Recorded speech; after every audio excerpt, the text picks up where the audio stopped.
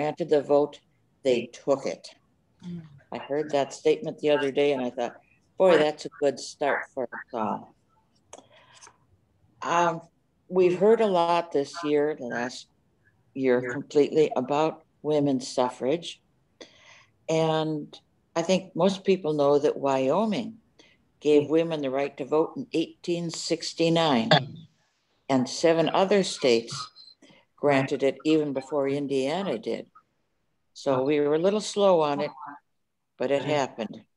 In 1851, there was an Indiana Women's Suffrage Association that talked to the state legislature calling for the right to vote, temperance, and equal rights, and child labor.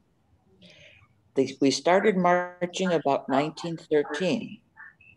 In Indiana itself, 1881, an amendment was made for women to vote and presented to the State General Assembly. But when it met again in 1883, it was found somehow it had never been recorded in the official records and therefore did not exist. A partial suffrage act was passed in 1917 for women to vote in local and presidential elections. And in Indiana, nearly 40,000 women registered to vote. You just had to be over the age of 21 years and an American citizen. They could go to the local county clerk's office or sign a form in front of a notary public. Imagine how many women lined up to do that. But this was struck down just before the November elections. Men figured it was too costly for separate ballot boxes and counting costs. Later, women were also judged to be too sentimental to sit on juries. Well, maybe we could vote, but we couldn't sit on a jury. In 1927, an article in the New York Times claimed the courts would have fainting fits and outbursts of tears and some cases were not for delicate ears to hear. Meanwhile, back in Harrison County, Corydon, first state capital, 1816 to 1825. Okay. The 19th Amendment said the right of citizens of the United States to vote shall not be denied or abridged by the United States or by any state on account of sex. Congress shall have the power to enforce this article by appropriate legislation. This was ratified the 16th of January, 1920. Indiana was the 26th state to ratify. Bunch of screeching. Don't you wonder how men viewed this? We sometimes wonder. At the time of the 1920 census, Harrison County had 13 townships. Okay, this is where I get into the project that I worked on. And in the basement of our library, I see anything that looks like old papers, I've got to go snoop. So I found some some file envelopes tied up with pink ribbons. It's still giving me that rattling, echoing, and yes, squeaking. That's we're bringing in our tech expert. Shall I keep on talking? Yeah, it, I think let's take just a couple minute break. Just a couple minute break while we get this feedback problem fixed. down and so loud. Hey, Carolyn. Hi. Okay. I thought I had Carolyn muted, so that might be hard. okay. Should I try going on? Uh, we got a person coming in. Wow. There's a lot of feedback. Uh,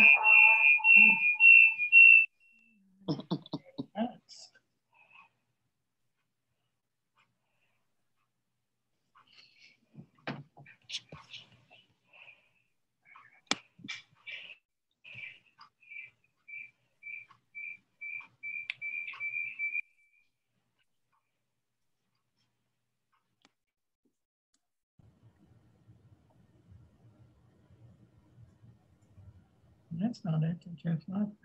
Hmm, You think that's coming out of the Jeff Library? Yeah. Mhm. This looks like a tech person coming in. Try it now. Okay, how is that? Are we, can you hear me better now? Oh, much- yeah. Much better. Great, good to see you. Yeah, see, the tech man walked in the door and it stopped acting up. It's magic. It's, it's magic. I, I, I, I shut everyone else's sound down. Oh, no. Yeah, Okay. Anyway, meanwhile, back in Harrison County, digging around the basement of our library, I found some manila folders tied with pink ribbons. And on each one, it said it was from a different township. Inside were loose pieces of paper like this, now quite yellowed and getting brittle. But this is where all the women came and registered to vote. They put down where they were living, their name. I am a female voter. I live, this just happened to be uh, Webster Township. I was 37 years of age on the 30th of December, 1921. So we now have their dates of birth.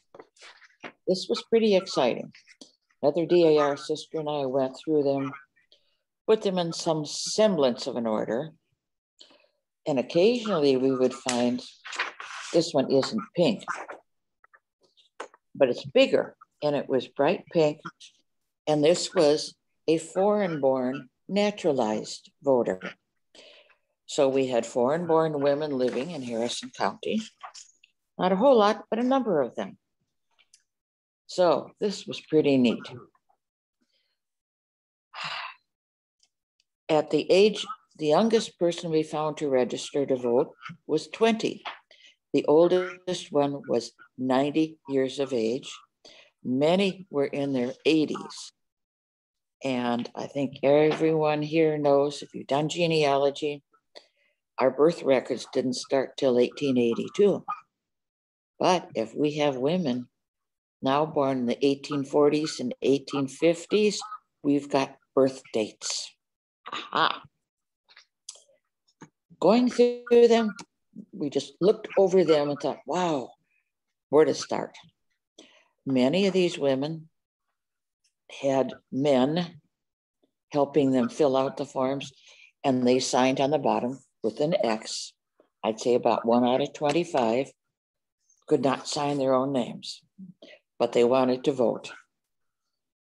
Uh, and sometimes the names differed from what the enumerator put on the top and the way she signed her name. Most interesting. Uh, for one example, I had a Lizzie Eisenmenger. On the ancestry censuses, she was listed as Louisa, Louise, and even Lula, but never Liz- Lizzie. But she called herself Lizzie. So that would throw things off a little bit. Some were written in pencil, and after a hundred and some years, it was getting hard to read. We had lots of diminutive type names Hetty, Nanny, Kate, Randa, Lizzie, Minnie, Molly, even Ollie. And what I found was neat first names we don't hear much anymore, or I've never heard of. But I do have to say, I still find Moon Unit and Dweezil of this generation as still some of the most unusual names. We had names, first names of Saloma, Alda, Zeta, Marshy, Sani, Dorothea, Rilda, Bina, Zeta, Bertilla. It sounds like I'm doing lyrics to a song. Abraziola, Zella, Lavesi, Farrell, Roxa, Lucine, Zelmia, Marzala, Moini, Gilla, uh, Lodema, Merle, Clella, Oda, Loki, Velva, and many more. Three names I found were very unique. Zelma Epervia, Addie Valina, and Preshi Dell. And we thought names today were strange. I mean, Wow. some of the most common names, and we don't hear these much anymore Minnie, Cora, Ida, and of course, a lot of Marys, Margarets, and Elizabeths. Um, some ladies also signed up using their maiden names. But the best thing about this project was their dates of birth and where they were born give us so much information. Uh, and, and just a treat of some of them saying most were born in Harrison County, but some were born in France, some in Germany, many in Louisville, Kentucky counties, Arkansas, Vermont. How did these people get to Harrison County? I followed just a few of these ladies at random because they seemed like interesting ladies. In Evans Landing, October 1922, we find Lavina Critchlow, who was 90 years old, born Butler County, Pennsylvania, and she could sign her name. So she was born in 1832. She died in Illinois, and they brought her back and buried her in Evans Landing in 1926. You know a lot about this lady now, don't we? In Lanesville, I found three nuns who registered to vote. Sister Lucia Andress, Sister Engelberta Hammerly, and Sister Priscilla Fleeg. A few wrote themselves down as Mrs. Elizabeth Jones, and a few even as Mrs. John Jones. We all know and have seen obituaries stating Mrs. John Jones died, and you never hear her first name. We've all seen those. In New Salisbury, I found Thelma Adamson, 86 years old, signed with an X. She was born 1836, but we now have her date of birth, and she died in 1922. Jane Patterson, 80 years of age, born Greene County, Tennessee. Leonora Torrey, who was 78 years old in 1922, born in Vermont, which means 1844. Lydia Colvin, age 85 years, born 1838, died 1923 in Floyd County, very shortly after she had registered to vote in Harrison County. Bertha Byerly was 27 years old in 1922 signed with an X and died in Meade County, 1939. I also found in Scott Township, which doesn't exist anymore, 1922 was an Irene Weaver. She was a notary public, a woman holding a public office. Yeah. And later I found in the 1910 census, they had women enumerators going around. And that surprised me. Who knew it for the census? What I thought was neat for many of these ladies, they were still alive in 1942, 20 years later, and we were again at war. They would have seen World War One and World War Two. Uh, Mary Dots, who was born the 7th of December, 1876, she died in 1961, but she would have seen Pearl Harbor Day on her birthday, the 7th of December, 1941. Elsie Cost was 32 years of age in 1922, which means she was born 1890. She died in New Albany in 1969, and she would have seen D Day on her birthday, the 6th of June, 1944. Just think of the history these women heard and saw and experienced. But of course, not everybody lived long lives. Pearl Engelman, a good old Harrison and Floyd County name, born 1901, registered to vote in 1922.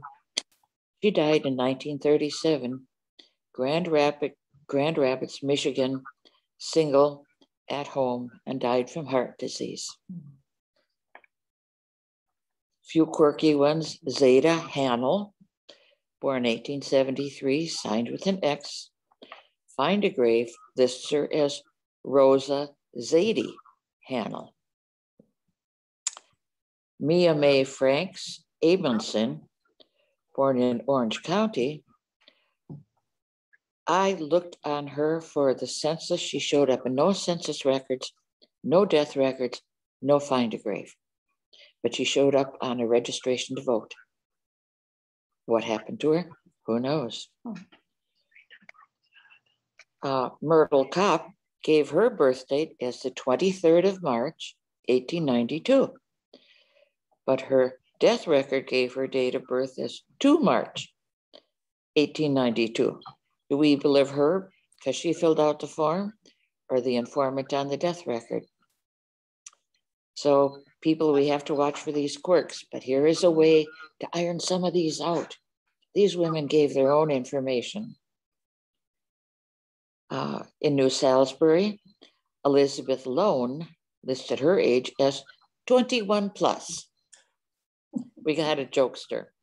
Her death record showing her born actually in 1863 in Louisville, Kentucky. So at the time she registered to vote, she was actually 59 years old. I got a chuckle out of that one. 21 plus. Hmm. Okay, let's see what was going on in 1920 in this part of the state. I looked up on Wikipedia for the incorporated towns for 1920 and 2010. And going even back further, Corydon in 1850, now that was a pretty long time ago, had 462 people. Harrison County, as of 2019, had 40,350. So Corydon's grown quite a bit, but we're a county seat. Most of you have often heard of New Amsterdam. As you know, that's right on the Ohio River. And the Ohio River was very, very different in the olden days, not nearly as big. Would you believe New Amsterdam was the largest town in Harrison County? In 1927, there were 137 people there. Uh, in 1922, there were 166 registered women voters, but a lot of people came from surrounding areas because it didn't matter where you signed up, just as long as you sign. In 2010, the population of New Amsterdam was 27 people. I spoke with a resident recently. He said they're down to 14 people in New Amsterdam. Uh, in 1922, from DePauw, Ramsey, and Milltown, there were 84 women who registered to vote.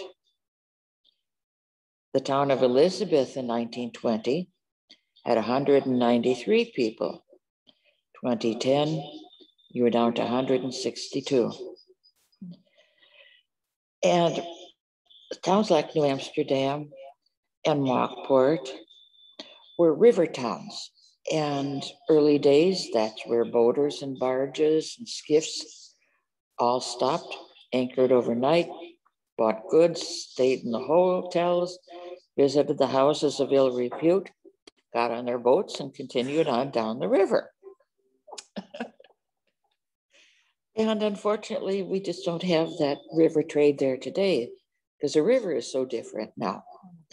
There was a town called Northampton I had seen the plotted out version of it, perfect little town squares and blocks.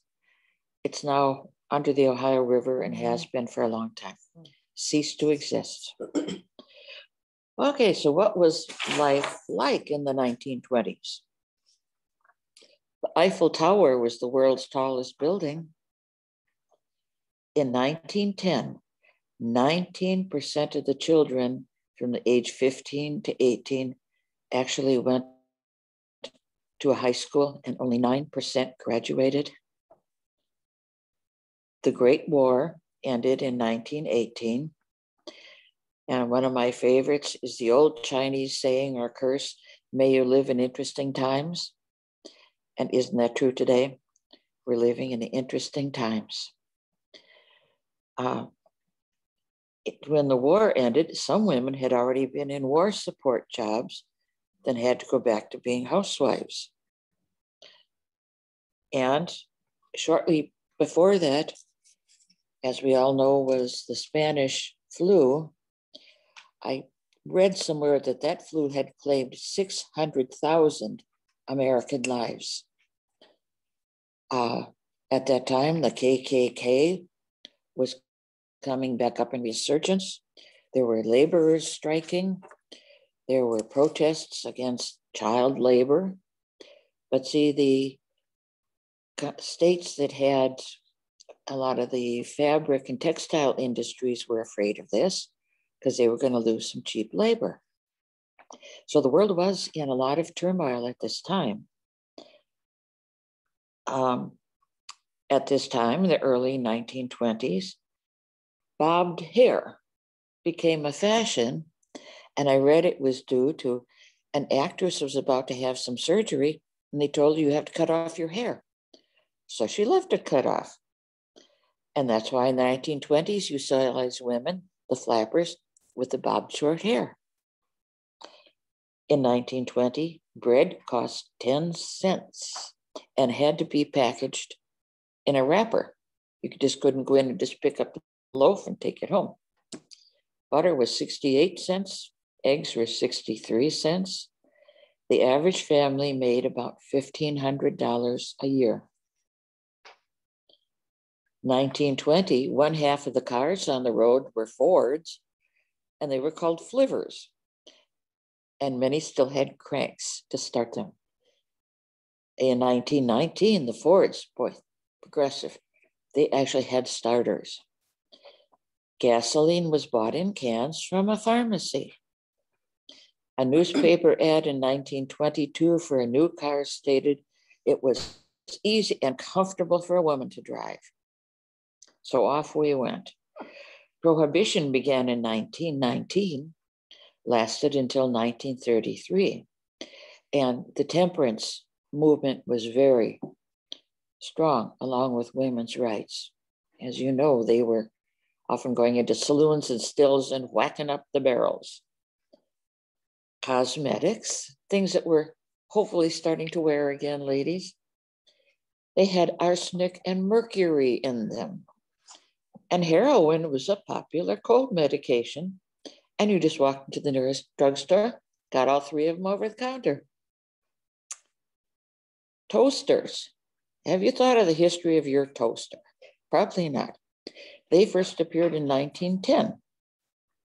Zippers in 1917 were called separable fasteners. But by 1920, they became a zipper. I'm not sure how where they got the word zip probably because it made that noise. The first hair dryers in the early 1920s were about the size of a vacuum cleaner today and were very rare. Uh, the genealogical find of these registrations are that we have the women giving their own birthdays. And a number of early birth records, as we all know, because we were required 1882, they weren't registered. We've all seen birth returns where the doctor went in and visited her. Was this your first child, second child, third child? Okay. He didn't complete the forms completely. He waited till he got home and tried to remember. So that's why many early birth returns hmm. are incorrect. They usually got the sex of the baby right. And many early newspapers in the 1900s just had births where the fathers went into the local newspaper and said, I got a brand new baby boy last week. So at least early newspapers would give you some record. You'd had a window of a week when this child was born. And these particular records that I did copy I have like 170 pages of them, all completely indexed. Now, not every woman went to register to vote. Some women didn't think it was important. Uh, and it didn't cover all of the townships. The one in this book that had these actual forms were Franklin, Harrison, Heth, Jackson, Posey, Scott, Spencer, Taylor, Washington, and Webster townships. For reason, the other townships are registered in you know those big old heavy dark brown books and it just gave their ages it didn't give their dates of birth and i was very disappointed that i don't know why only these 13 townships used this form. It may have been an experiment. It, they ran out of paper. Who knows? That's what makes these so important. I remember reading in the newest book I'm starting on, and those of you who know me know I'm always working on new projects. I'm going through 10 years ago, I did a book called Exciting Times in Old Harrison County. I started on the 1900 through 1905 Corydon Democrat and Corydon Republican and read the newspapers, putting down all the quirky, exciting, and weird things that went on in the county. Snakes in the house, mm-hmm. people breaking out of jail, people robbing stores, people running off with other people's wives, you know, you know, the good stuff. Well, now I'm working on 1906 to 1910. And I'm seeing a big change in women just in that time span more young women were going off to college out of state. Women were getting professional jobs. They were going down to work and live in Louisville. Came across one entry where we all remember hearing, some of us learned, Gregg Shorthand. They would put their big ads in the paper, and a young man won the state contest for being the fastest at the Gregg Shorthand. So we women got in line and we were going to learn it too. I don't remember any of it. And it, for me, it was difficult to learn. Now we type. Um, so that book is almost totally done. I will be binding it this weekend. And as I said, it has an all name index. And it will be selling at the Corydon Genealogy Library for about $20 a copy.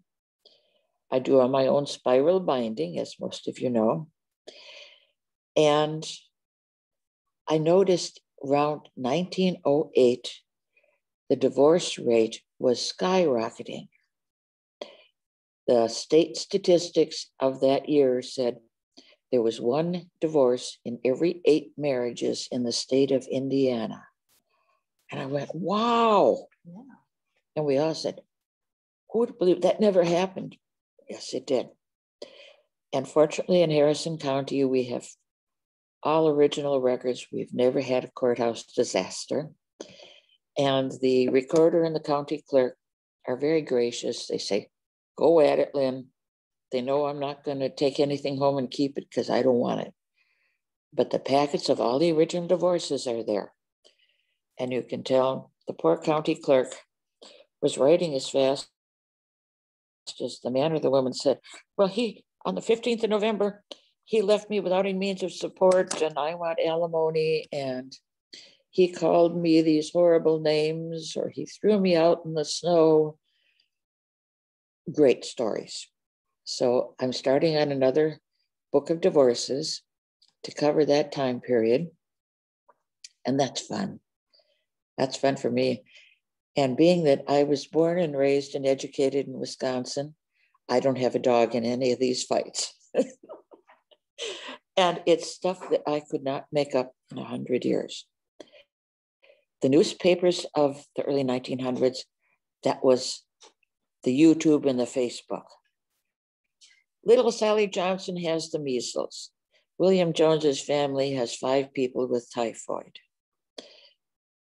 people were falling on farm implements, getting hands and feet and legs mashed in machinery. Buggy accidents were so numerous, I didn't even put many of them in. I've owned three horses and never had a horse run away with me, but this was a daily occurrence. Buggies tipped over. Buggies were turned loose on Saturdays from the town square while the owners were shopping, and the buggies went home without them. Horses were tied, you know, our lovely square. There had been a wrought iron fence with those lovely little pointed finials at the top. Horses got frightened, reared up, and came down and were impaled on these fences. And all this made the papers. Uh, one doctor left his two year old son in his buggy while he ran into his office for a few moments. Off went the buggy, the horse, and the baby. People would run out in the streets and grab them and saved the children. But people were dying mostly of disease, accidents. And I think in the early 1900s, the entire state of Indiana had 58 murders for the entire state. Things have changed a little bit, but reading these old newspapers, if you get a chance, look at them and you feel like you're peeking in the windows of a different world in the early 1900s in about 1913, I was doing a project for someone, came across where a young man had been bitten walking along a roadway by a copperhead snake. The newspaper article said the application of five live chickens seemed to take effect. I have no, I, I even asked Fred Griffin, have you ever heard of applying a chicken to a snake bite? And he said, No. Was it a naked chicken? I, I, did you pluck the feathers off? Did you gut it? Did you let it peck? I have no idea. There was no explanation, but obviously the child lived. So we who do genealogy love hearing these things and learning about these things. Uh, the newspapers were both so different from each other the Corydon Democrat was the more popular newspaper because at the time there were more Democrats in the county. But the Corydon Republican put in local news, state news, and they liked the juicier stories too. So in Terre Haute, woman takes poison, woman shoots lovers, but we had a lot of those too. I put those in this book, along with some of the trivia. And it's been great fun and i'm looking forward to that book should be ready for production hopefully by the first part of summer. And i'll let the various libraries and uh, dar chapters and other ones know when you can find it. So i had one more thing i just wanted to mention about women's suffrage. Susan b. Anthony said she could mark the progress of the women's movement by the projectiles thrown at her when the eggs and tomatoes were no longer or, or were no longer of the rotten variety that was progress. So thank you everyone. It's been great fun for me. I enjoy doing this. And our next speaker is going to be our Jeannie. Give us just five minutes. Uh, we'll get Jeannie set up. It's not even that much, but we'll take just a few minutes. And ladies, here's my sash. Votes for women. You go, girl. Thank you.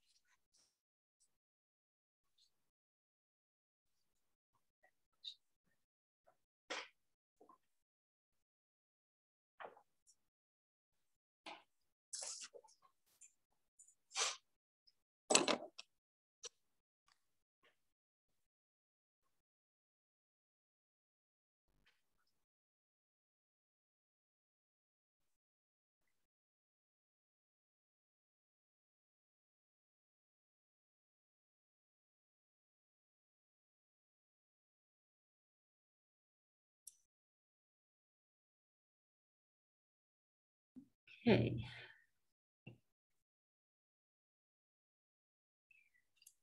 Um, You're talking, it ought to, it ought to spotlight you. Hi, I'm- this is Jeanne Burke from the Clark County Museum at 725 Michigan Avenue. I may have an echo in here. Hang on just a minute.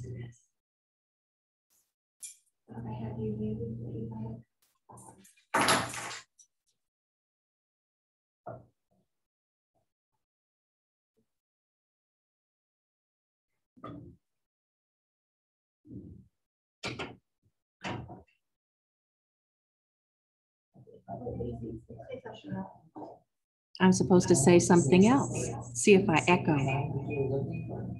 I'm echoing.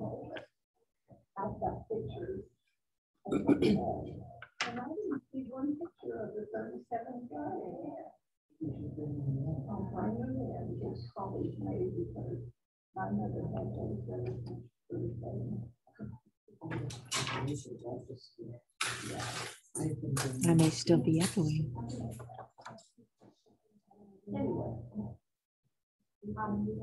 Returning these other, you want me to put this one back? But I was telling her. I went through all the information that the Quartermaster Depot, Mhm. Not a picture of the flood, thirty-seven flood. My mother has pictures of it. Yeah, there's a postcard picture of it that you see online all the time, and it's the Oh, main yeah. entrance with the water up about halfway up the Uh, entrance. She's got pictures of tents that were. Yes, and there's a because it was picture of tents. My grandfather set those tents up. He was the chief civilian at the quartermaster depot, and he was so mad because as soon as they got the tents set up, the water came up, and he had to take them all down in the water, Okay, of all things. Okay, All right. nice talking. to You too. ladies, I think we're ready. Um, and when you're ready to, to uh, show, you share your screen, let me know and I'll help you with that. I'm ready. Okay. Well. Um, Share my screen. Okay, and we're gonna co- select. um, Hang on, I see somebody who says. They That's it. open related one, open one of those. One, One mammoth, okay, and then I can just do this from here. okay, and then Oh, how do I get it? on this memorize that There you go. and go back here Mm-hmm. Share. and share. I'm looking for that particular thing. Let me open it again. All right. Share screen. Okay, there it is. All right. There it is. Okay. Okay. Thank you so much for joining us today for a tour of the treasures of the Clark County Museum at 725 Michigan Avenue. You may have heard that I am the oldest thing at the museum. That's a lie, a falsehood. It's actually this piece of mammoth vertebra that looks like a piece of a fossilized asparagus or a tree or something like that. But we inherited this and it was dug up in 14 Mile Creek. Uh, I'd say about 60 years ago to 70 years ago. And it was in a man's yard and his neighbors came over and they chipped pieces off of it and it made it made him mad. So he put it in his garage and that's where it was until the museum got it 60 years later. So this is actually the oldest thing at the Clark County Museum. Moving on, hopefully. Gonna have to open. Do I have to open each one? Yeah, we're Do it gonna have that to way? open them each. Oh, okay. This is our puppet canoe. Uh, Puppets are, have been around since the beginning of time when little girls had dolls. Hang on just a second. It's not showing. Ah, we're not showing. So, Share. I'm afraid we're gonna have to share each one. Oh, Diane, I'm sorry. It's okay. Uh, There they are. all right.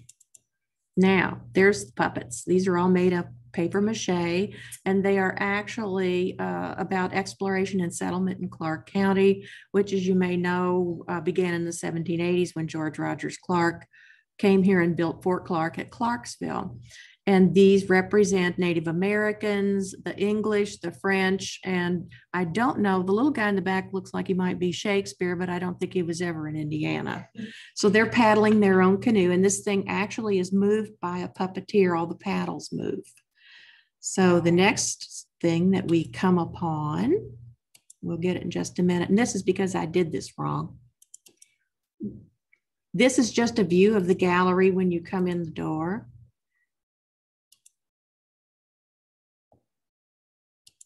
We're zooming it. There we go. Share screen. No, that's not it. That's something else. That's it. Okay, they stay on the screen after we share them. This is the view of the gallery looking westward towards the back of the museum, and you can see some little items that we have in there. Uh, this part up here on the right is all war. We were big in war, World War One, World War Two, Spanish American War, the Civil War especially. So that's the section that shows you that. And then we'll go on down a little bit. There might be a better way to do this. I just don't know. We don't know it. what it is yet, so we're doing it this way. This is one of the treasures of the museum. It is an 1805 hand-drawn map of Clark County. There it is. It was drawn with iron gall ink on uh, vellum, which is made from sheepskin. And uh, it was discovered in the library when it was over in the quartermaster when they were remodeling uh, the library down here on Court Avenue. And it was drawn by Judge John Miller, one of the founders of Utica. And what one of the things that makes it so valuable is has the name of the property owners at that time in Clark County. So it goes back to 1805. And a lot of the property was owned by George Rogers Clark's brother-in-law, William Croghan, who built Locust Grove in Louisville. So this is really a treasure and the library very kindly paid to have it restored and then donated it to the Clark County Museum. So moving on, we'll be moving on in just a minute. Thank you for your patience. Very sorry. No, it's my fault. Uh, this is an 1811 picture of Mrs. Catherine Hoke. Uh, she and her husband were founders of J-Town, Kentucky, and this portrait was drawn by John James Audubon. Audubon, uh, you know him more for drawings of birds and animals. Uh, he was fascinated with nature and wildlife, but like General Clark, he wasn't a businessman. He was partners in a store in Louisville uh, with another man because Audubon had a wife and kids that he had to take care of, but he was never at the store. As you can imagine, he was always out in the woods. Well, soon enough, the store went belly up and he had a family to support and nobody was yet buying his pictures of birds and animals. So he resolved to draw a chalk and crayon portraits of people and this is one of a pair. We have we also have Mr. Hoke, but he's not as pretty as Mrs. Hoke. So we're not showing him. But uh, you'll notice the fine artwork in her cap that it was a sheer cap and it in with the way he draws it, you can tell that it was perfectly sheer, which is amazing to me. Uh, and Audubon drawing these things uh, sometimes was commissioned to paint a portrait uh, from these drawings, which he did for Mr. and Mrs. Hoke, and they are in the museum at J-Town, Kentucky. Uh, we have these two at our museum in Clark County, and on the back, there is a pocket on the back of this portrait, and in it are uh, sketches that he made of Mrs. Hoke's nose because she didn't have a dainty little nose. She had a big German nose. And so he practiced it over and over and over, and we even have those practice sketches. So uh, 1805 again, and treasures at the museum. Moving on to the next one.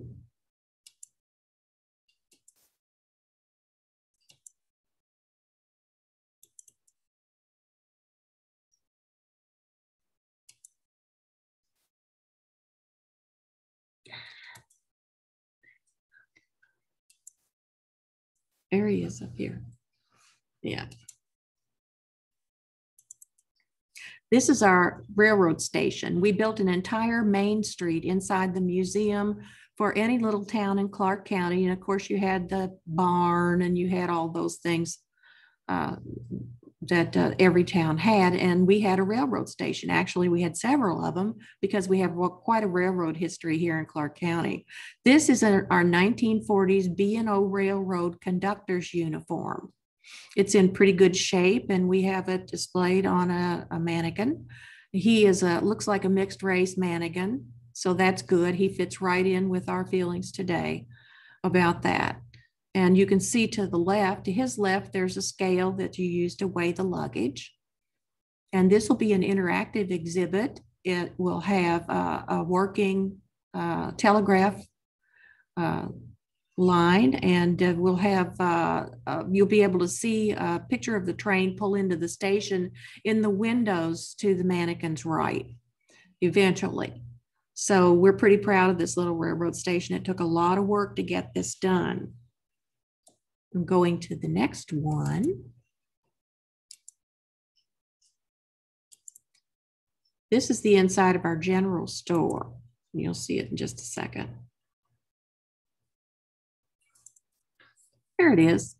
Now, this will be interactive in that the telephone that you see to the left will ring. Uh, and then if you answer it, you'll be able to hear a woman reciting her grocery list to the grocer that answers the phone. We also have the ability to check people out. Not actually physically, but I'm talking about their groceries. Uh, we will be uh, trying to fulfill the uh, requirements for fourth grade social studies so that we can get some schools to start coming through the museum and learning about Clark County history. So the kids will have a basket. They'll be able to pick up some uh, fruits and vegetables out of little baskets on the floor. And we will weigh them on the scale and then we'll tell them how much it is per pound and let them figure out the math. And then we'll say, okay, then you owe us $2. Hopefully they'll give us money, but probably they won't. So at least they will have learned how to calculate that. Moving on to the next one.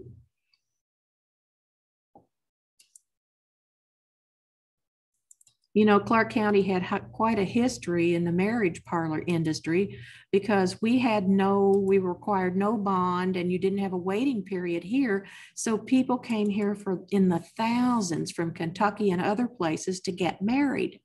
And this is our organ in our marriage parlor exhibit. It's a real organ, and the people who donated it live in Clark County. So it's a Clark County organ. And when you enter the door of the marriage parlor, the organ will play. People will be able to actually get married in our marriage parlor as long as they bring the minister. We don't discriminate. Anybody can get married here. And so uh, we have that set up. And the, the marriage industry in Clark County lasted from 1877 about 100 years. And people came here from all over the place to get married. We do have the picture of a 95 year old lady who uh, was married during World War II in Jeffersonville. And she's still living, but her husband has passed away. And she kindly donated a young picture of herself for the marriage parlor. So you can come in and learn about that industry in Clark County. It was quite the thing for many years. Going on to the next one. In- No, this is an exterior. This is an exterior picture of the railroad station that you'll see in just a second. Thank you. And this is a mailbag, a railroad mailbag hanging on the outside there by the window. Uh, Dr. House of Sellersburg invented a mailbag catcher and he had actually had it patented. So there's a Clark County person that had a patent and we hope someday to get one of those, but we hung the mailbag there so we can tell the story. And of course, that's how you go into the station. The brackets that you see underneath the uh, overhang are actual real brackets from uh, Jeffersonville. And uh, some of them, they're very old. Some of them we had to have duplicated and uh, we were able to do that. So that's what that looks like. And moving on to the next one. Oh, you know, we had quite a gambling history in Clark. County. Okay. All right. And we'll see if shared screen works. And we're hanging in there. There it is. And we had very kind donations from Dr. Paul Bender, who passed away last month. Oh, no. Yes. And uh, he was, as you know, he wrote the book on gambling in Clark County. And uh, Oh, he very kindly shared some of his gambling things with Can you see it? us. Yes, that's it right there. That's it, okay. Mhm. This is a Keno goose. It contained dice, and you turned the goose up and down, and uh, it it uh, handled the dice for you, and then they poured out the bottom, and you had picked numbers in advance, and if those numbers came up, you won. The little thing that looks like a wrench up on the wall is actually a, a, a tool that calculates or calibrates dice. When you met, wanted to make cheating dice, you drilled out the holes and you poured lead in there. And so that was an that was a thing that you could do in your car as you sat outside of a casino and readied yourself to go in and have great winnings. We are uh, Dr. Bender was not responsible for the picture to the right that shows Theda Bara and her curious brazier. I have no idea about that, and I'm not guilty, so you can't blame me. We're going on to Sure, the that's your next slide. That's my story, and I'm sticking to it. Okay, yeah, we're getting to it. We're getting to it. Inside the casino, number 11, you had the connection with the gangsters. We had local, uh, sort of part-time gangsters, I guess, who were involved in the casinos. But the real gang that, that ran things was the Al Capone gang out of Chicago. They controlled all the beer shipments to Clark County.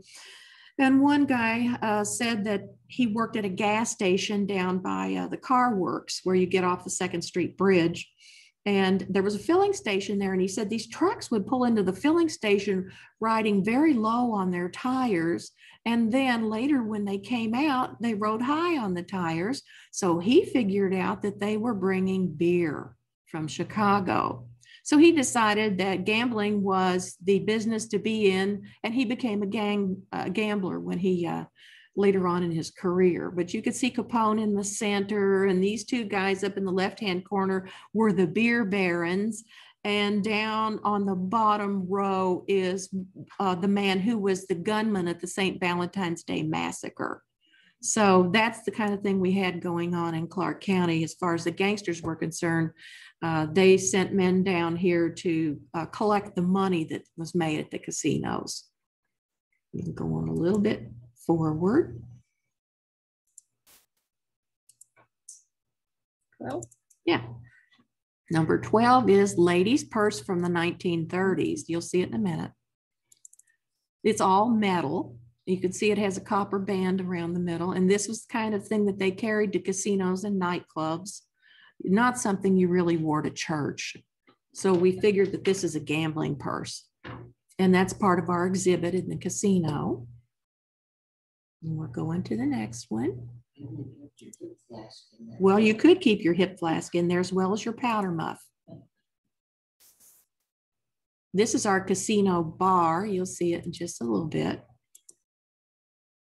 Every casino had a bar in it, and because our museum is diminutive in size, we had to have a, a more compact bar, but this gives you an idea of the things that went on inside the casino. And on the bar, we have antique glasses from the from the time period that the casino was in operation.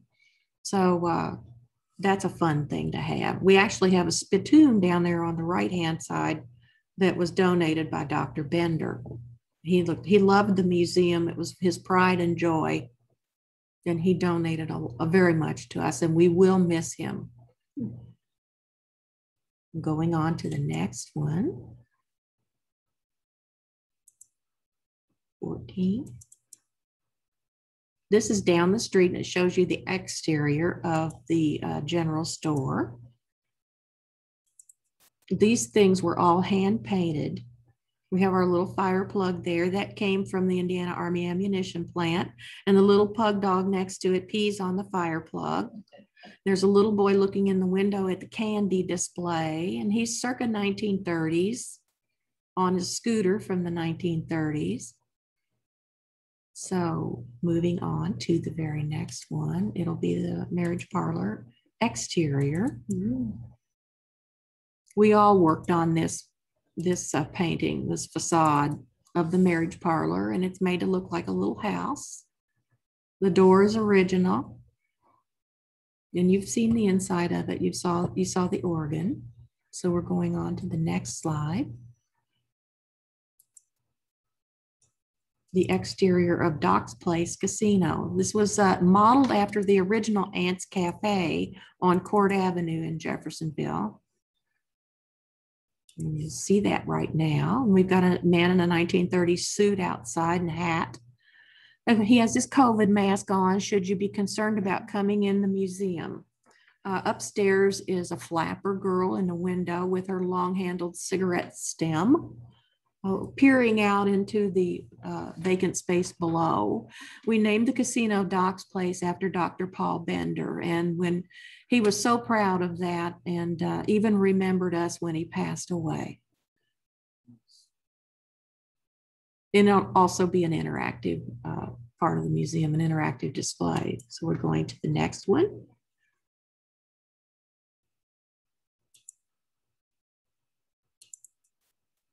Inside the casino, this is the guts of a 1930s slot machine. You'll see that. You see those curious disembodied legs in front of it. That's my reflection. Nothing to worry about. It's not haunted. And we thought that kids and other people would enjoy seeing how uh, the inside of a, of a slot machine actually worked. So we have it uh, displayed that way. And that's another gift from Dr. Paul Bender.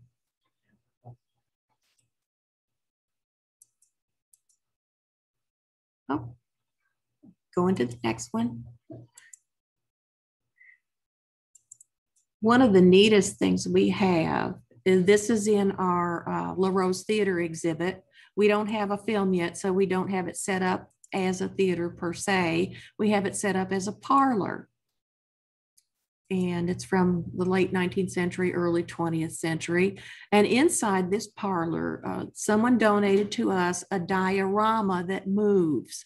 You can't see it move, but as I took this picture, it was moving.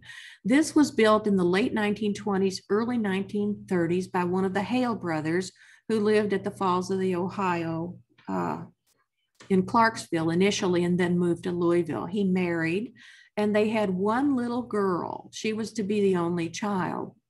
And so he, one Christmas, made this diorama for her. He made all the little furniture, he dressed all the dolls. He did all the little portraits and paintings on the walls and he electrified it. So the lady at the piano plays the piano. The lady to her right plays the violin. The lady with the baby in the rocking chair rocks the baby and the lady on the cat on the red sofa is sewing a sampler and they all do move. And this is quite an accomplishment. It still works. We love it. And kids are fascinated by this. So we have something for people of every age. You're going to the next slide. We're almost finished. Hang in there.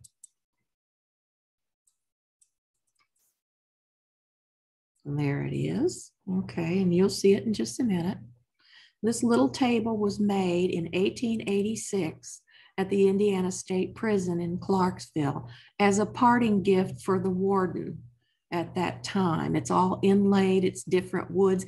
Even the stand and base of the museum is inlaid wood. It was made for Warden Craig, who lived over on Market Street in Jeffersonville, and he died not too long afterwards, but it was actually made by prisoners. This was part of the great prison reform that was brought on in the 1890s by Quakers and other people concerned about how bad prison life was. And believe me, it was terrible.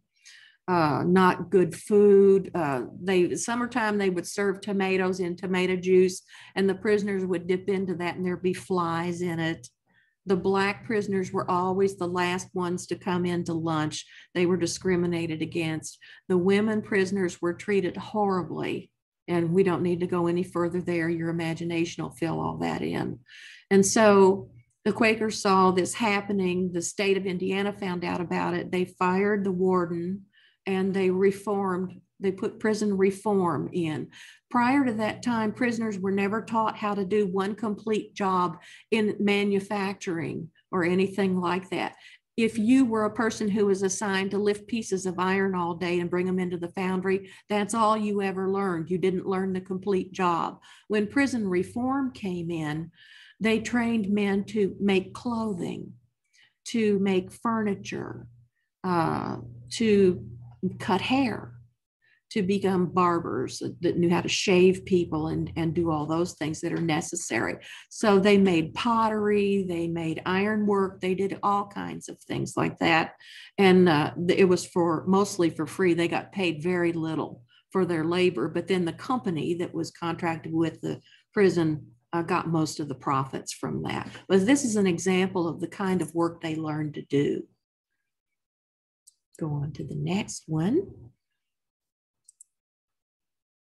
Ah, okay. This is just a clipping. It's not anything you need to see. So we may have had some of those slides separate and you need to go below Indie Journal. Appalachia. No, that's it. So, okay, those are the pictures that we have of the museum. We are currently not open in case you're wondering and you'd like to come in. We'd love to have you, but we have no parking lot. The street's torn up in front of the museum. And we figure, we have our fingers crossed to open the very last of March or the first week in April when the city gets the street repaired and you can park again. So please do come and see us. We'd love to have you. There's no admission price. We only ask for donations and it's at 725 Michigan Avenue in Jeffersonville. Thank you so much for attending. Great. Thank you. That was great. Yay. Oh, no, no, no, don't be sorry. That was wonderful. Thank you all for coming. Um, I guess, uh, uh, we'll have to get on another computer to end the meeting, but, uh, let me check to see if there are any questions.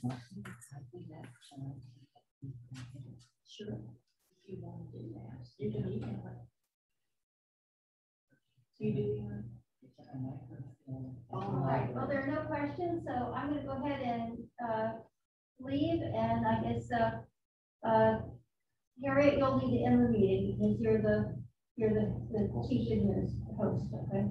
So just, just hit leave and over it. So, thank you, everybody. Thank you. Bye. Bye.